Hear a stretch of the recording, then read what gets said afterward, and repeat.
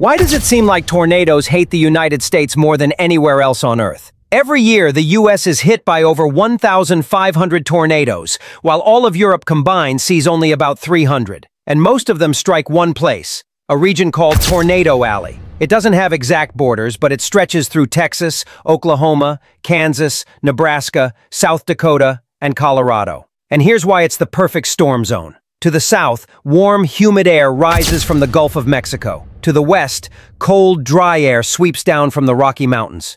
When these two air masses collide, the warm air surges upward, and thunderstorm clouds begin to form. Inside those clouds, the air starts to spin, and when that rotation grows powerful enough, it drops toward the ground, becoming a tornado. So it's not that tornadoes hate America, it's that the U.S. landscape creates the perfect stage for them to be born.